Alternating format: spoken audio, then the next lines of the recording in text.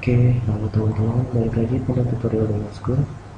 Pada video e-learning kali ini, saya akan membahas tentang fungsi dari display inline block. Nah, mungkin daripada bingung kita langsung saja praktekkan. Coba teman-teman buat satu blok folder bebas di mana saja. Di sini saya buat di desktop ya. Dengan nama inline block. Nanti uh, semua file kita akan di save di sini. Oke, uh, coba teman-teman buka editor masing-masing. Di sini saya menggunakan Notepad++ sebagai editor. Dan ketikkan script berikut. Seperti biasa struktur dasar HTML nya nah, jika sudah pada halaman body ini atau pada bagian body ini coba teman-teman buat script tag H1 sorry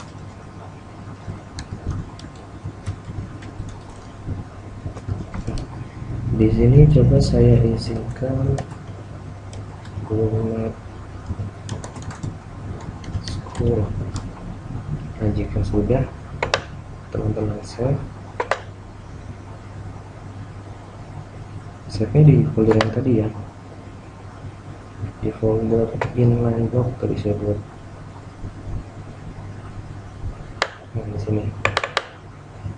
Saya beri nama index.html lalu di save. Ya. jika sudah di save. Coba sekarang kita jalankan pada browser.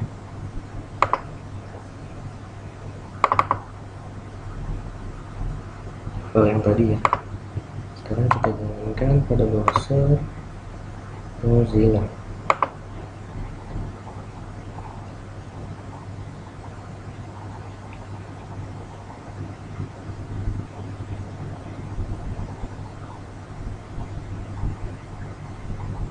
Nah, hasilnya masih seperti biasa ya. Tidak ada style apa pun karena kita belum edit CSS-nya. Nah, sekarang coba tambahkan script CSS internal saja ya. Di sini saya menggunakan CSS internal.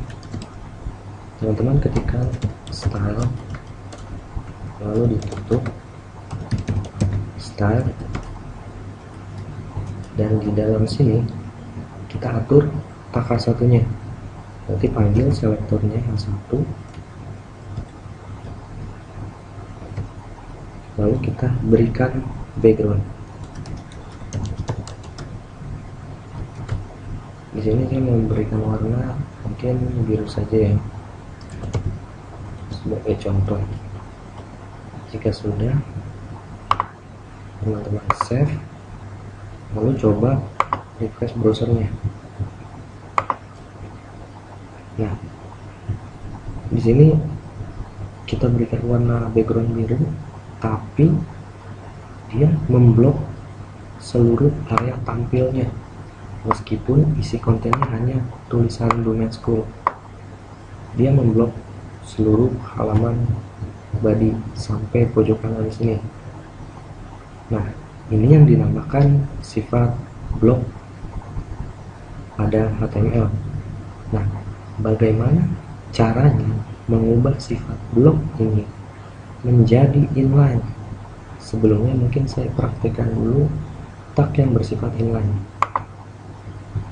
Di sini bisa ditambahkan tag A. Slash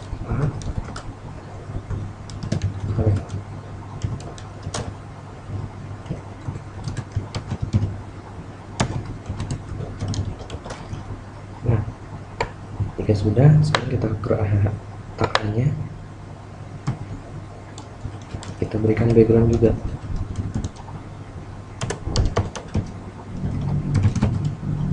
Saya berikan warna merah. Lalu teman-teman save. Dan coba refresh browsernya. Nah perbedaannya adalah yang bersifat inline dia hanya memblok atau mencetak warna sebesar area tampilnya atau sebesar isi kontennya. Di sini isi kontennya hanya domain school ya dia hanya memblok sebesar area domain school saja. Tidak seperti yang sifatnya blok ini.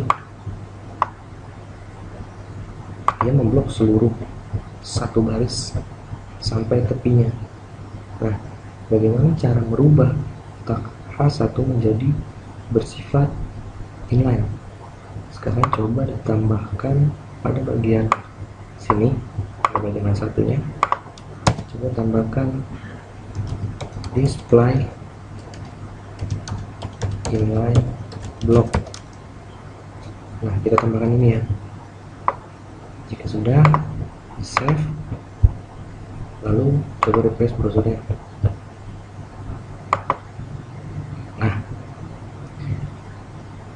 sifat blok yang tadi muncul akan hilang ketika kita tambahkan display inline block tadi. Jadi fungsi display inline block ialah mengubah tag HTML yang bersifat blok menjadi inline. Seperti contohnya tag inline A ini. Oke. Cukup jelas ya. Simpel kan? Mungkin sekian dulu video e-learning kali ini semoga bermanfaat dan terima kasih